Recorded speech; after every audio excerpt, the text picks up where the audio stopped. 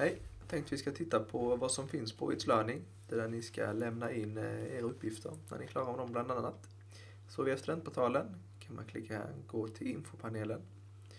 Så om man kommer hit. Så får ni logga in där. Så min kommer inte se riktigt likadan ut som er för jag är inloggad som lärare. Men den kommer att se ut typ så här. Så här kommer det finnas eh, uppdaterade eller så När någonting uppdateras på någon kurs ni är inne på så kommer ni få upp det här att någonting har hänt. Under settings kan ni där kan ni gå in och ställa in e-postavisering. Så om vi uppdaterar någonting så kan ni, så kan ni få på mail att ja, gå in där och titta när någonting hänt. kan man bara göra. Annars är det kurser som är intressant.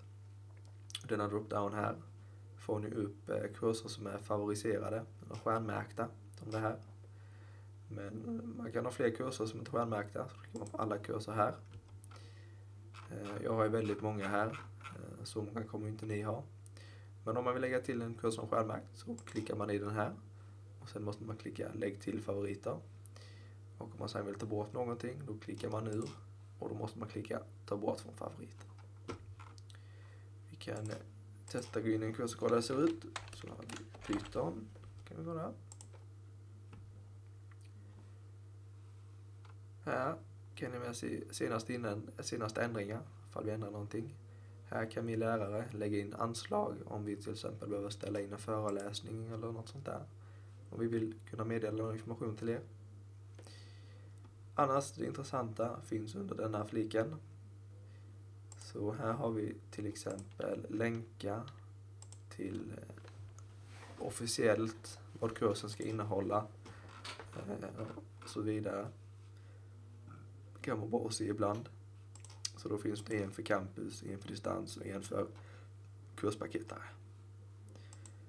Sen har vi kommit igång med kursen. Den tar dig till DBweb-facken. Kan man vara bra att bekanta sig lite, kolla vad som finns här. Ha koll på att det finns en fack. Där kan du hitta bra information ibland. Sen har vi rekommenderad studieplan. Så en för campusdistans och en för kurspaketare titta på den lite snabbt. Så här kan ni se när vi tycker att ni ska ha lämnat in varje kursmoment. Kolla veckorna så. Och sen här kan ni se när varje kursmoment kommer att bli rättat.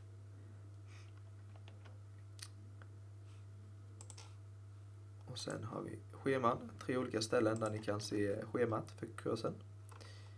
Eh, ni ser lite snabbt att vi har måndag, tisdag eftermiddagar, onsdag förmiddag och hela torsdag. Och sen har vi översikt för kursen. Tar vi oss till DBWebs sida för kursen. Här borde ni hitta all information ni behöver. Sen här har vi en mapp för varje kursmoment. Så varje kurs består av sju kursmoment som ni ska lämnat in för klara kursen. Så här ska ni göra en inlämning varenda gång ni är klara. Er kommer inte se ut så här utan ni kommer ha någon, kanske lämna in-knapp. Och då ska ni skriva er eller klistra in er redovisningstext där för vad ni har gjort och sen en länk till er MI-sida. Och sen kan vi gå in och rätta det. Som sagt, inför kursmoment. Sen har vi här nere en länk till eh, forumdelen för Python. Sen har vi en eh, generell länk för IRC-chatten. Ni vill försöka få tag på oss där. Och sen finns här om eh, lärarteamet, vilka vi är och kontakt på oss på olika sätt.